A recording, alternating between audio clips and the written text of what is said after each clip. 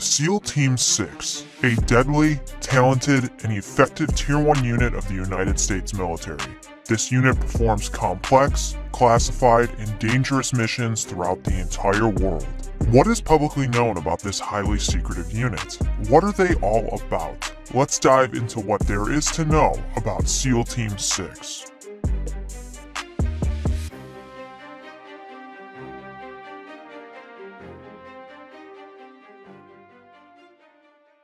Naval Special Warfare's Development Group, known in short as DevGRU and otherwise referred to as SEAL Team 6, is the United States Navy's Tier 1 unit in the Joint Special Operations Command. This is where the best of the best Navy SEALs wind up. Think about it. A Navy SEAL needs no introduction. Most people know what a SEAL is capable of. Most know what it takes to become a Navy SEAL. But a SEAL Team 6 operator? That's on a whole other level. So why SEAL Team 6? While it's not officially called SEAL Team 6 anymore and is known as DevGRU, SEAL Team 6 was created back when there were only two other SEAL teams. It's thought that it was given the number 6 to mislead the Soviets into thinking that the Navy SEALs didn't just have two teams. They had six. The rest is history. Whether you're an avid viewer of our channel, or this is your first video you stumbled upon of ours, you're likely aware that there are other Tier 1 units. But what separates SEAL Team 6 from the others? The main difference is their maritime capabilities. Most of them are SEALs, after all,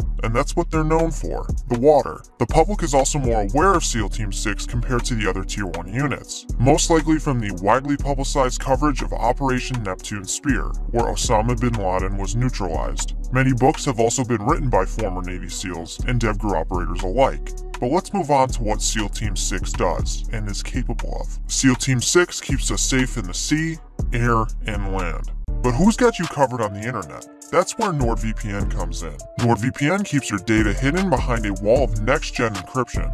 They keep the bad guys out and all of your personal data safe. Nord's double data encryption allows you to communicate securely without ever having to worry about data logging or your anonymity being exposed. It doesn't matter if you're sitting at home on the couch or watching this video on the go, NordVPN has you covered. We've collaborated with NordVPN, today's sponsor, to provide you all with a massive discount. Visit nordvpn.com slash general discharge to get 73% off a two-year plan with an extra month completely free. It's risk-free with Nord's 30-day money-back guarantee. Again, that's nordvpn.com slash general discharge. Links in the description below. Now back to SEAL Team 6. Don't get it twisted. SEAL Team 6 can do more than just maritime operations. They're utilized in the full spectrum of operations JSOC would ask of any capable Tier 1 unit. DevGRU specializes in counterterrorism, direct action, hostage rescue, high-value target extraction, counter-proliferation, special reconnaissance, and a whole slew of other things. Team 6 operators are all proficiently trained in close quarters combat, marksmanship, and parachute and diving operations. The amount of funding this unit gets is also insane. While we don't know the exact amount, SEAL Team 6 gets the best gear and equipment out there, and pretty much has a blank check when it comes to training. To give you an idea of just how much resources are allotted to them, Richard Marcinko, the founder of Team 6, stated in one of his books that back in the day, when they only had 75 shooters, their budget for ammunition was more than the entire Marine Corps.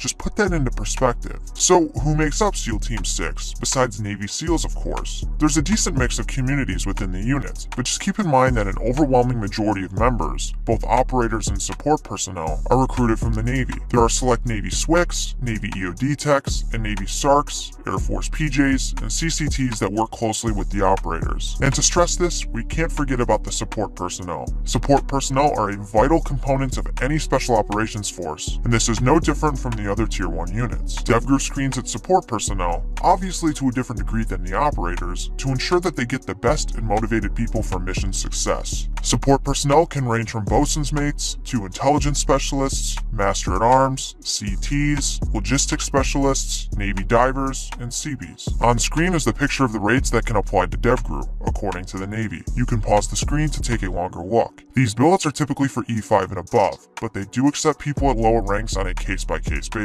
So yeah, you can serve in DevGRU and play an integral part in SOF missions without being an operator. The more you know. Now let's move on to the structure of SEAL Team 6. There are six squadrons within Team 6, each with their own purpose and specialty. Four out of the six squadrons are the assault squadrons, which is where the operators are placed. For the assault squadrons, there's the Red Squadron, known as the Tribe or Red Men, the Blue Squadron, known as the Pirates, the Silver Squadron, which uses a mix of other squadrons' insignias, and the Gold Squadron, known as the Knights or Crusaders. Each of these squadrons are typically led by a commander and are divided into three troops of enlisted SEALs. The troops are led by lieutenant commanders. These troops are divided into smaller teams led by senior chiefs or chiefs. Each operator plays a specific role in these teams. Then there's the Gray and Black Squadrons. These are the support squadrons. The Gray Squadron, known as the Vikings, consists of divers and personnel trained to drive the custom vehicles utilized by SEAL Team 6. The Black Squadron conducts reconnaissance, surveillance, espionage, and advanced force operations. Now that you have an idea of how SEAL Team 6 is structured, let's move on to how they select their operators. The selection process for DevGru is known as Green Team.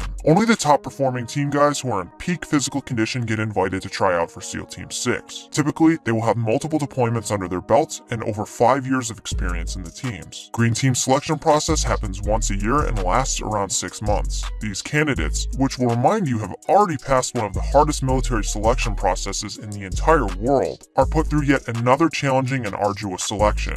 They're constantly observed, scrutinized, and evaluated by the DevGru instructors, being put through immense pressure. Roughly 50% make it through Green Team and onto SEAL Team 6. So, if you're interested in serving in SEAL Team 6 one day, whether as an operator or support personnel, just know that a lot more will be expected of you and you will be held to a higher standard. If you're not in the military yet, set this ambition to the side and focus on getting in first one step at a time. Thinking about being a Navy SEAL, or just SOF in general, you'll have to buy some gear, like fins and a mask. ATAC Fitness, a veteran-owned company, offers some awesome gear at a great discount. Use the link in the description and use code General Discharge at checkout to get 10% off. And if you want to learn more about SEAL Team 6, we have a recommended reading for you. SEAL Team 6, Memoirs of an Elite Navy SEAL Sniper by Howard Wasdin and Stephen Templin takes you deep inside the world of Navy SEALs and experience through SEAL Team 6 selection and operations. If you're not a fan of reading, you can get it for free on Audible with a 30-day free trial.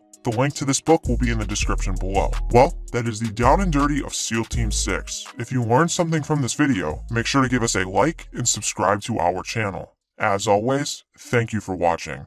Do you even want to be here? A big shout out to all of our YouTube members and our patrons over at our Patreon. Thank you all so much for taking the extra step in supporting our channel. It is much appreciated. If you'd like to be featured on a general discharge video, consider joining our membership with the link in the description or the join button to the left of the subscribe button, or go give our Patreon a look and join the team. Here's Nick Nausea. All your friends are subscribing to General Discharge, and you don't even want to be here.